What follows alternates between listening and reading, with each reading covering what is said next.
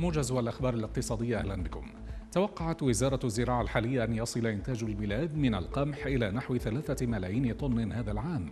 وقال وكيل وزارة الزراعة مهدي الجبوري أن وزارتي الزراعة والموارد المائية ستخفضان المساحات المزروعة بالأرز هذا الموسم بسبب مشكلة شح المياه التي يعاني منها العراق.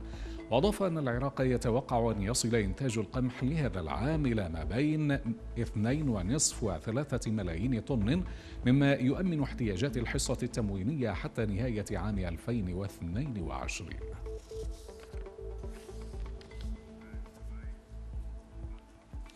كشفت محافظة واسط عن إعادة أكثر من مليار دينار إلى البلديات خلال العامين الماضيين بسبب تضمين كشوفات غير دقيقة مرتبطة بفساد إداري. قال المحافظ محمد المياحي إن بلدية الكوت كانت تعد من البلديات الخاسرة بسبب تجاوز الديون التي بذمتها أكثر من ستة مليارات دينار فيما أصبحت تمتلك حاليا رصيد أكثر من عشرة مليارات. ودعا المياحي جميع المقاولين والمستثمرين العاملين في المحافظة ممن يتعرضون إلى ابتزاز من أي جهة حكومية أو غيرها. دعاهم إلى الكشف عن هذه الحالات بشكل علني وبالأدلة. والتوجه إلى القضاء والنزاهة.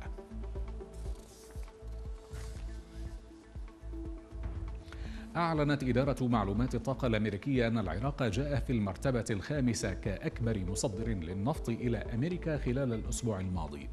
قالت الإدارة في تقرير لها إن متوسط الاستيرادات الأمريكية من النفط الخام خلال الأسبوع الماضي من ثمان دول بلغت خمسة ملايين ومائة وثلاثة وسبعين ألف برميل يوميا منخفضة بمقدار مائة وعشرة ألاف برميل باليوم عن الأسبوع الذي سبقه. وأضافت أن صادرات العراق النفطية لأمريكا بلغت 242 ألف برميل يوميا الأسبوع الماضي وهو بذلك يأتي في المرتبة الخامسة كأكبر مصدر للنفط من بين الدول العشر الرئيسة المصدرة لأمريكا.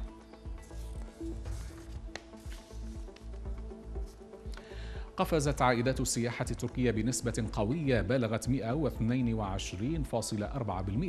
بنتيجة الفصل الأول من العام الحالي مسجلة 5 مليارات و450 مليون دولار مقارنة بالفترة نفسها من العام السابق. النتائج التي نشرها التي نشرها معهد الإحصاء التركي أظهرت أن 76.5% من الإيرادات السياحية كان مصدرها السياح الأجانب مقابل 23 20.5% من المغتربين الأتراك المقيمين خارج بلادهم.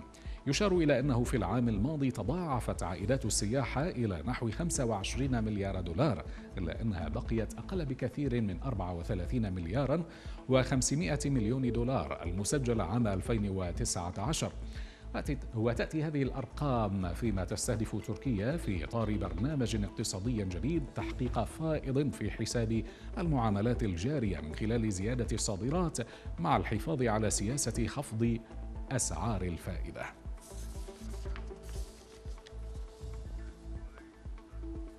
وهذه انتقالة إلى أسعار المعادن والعملات.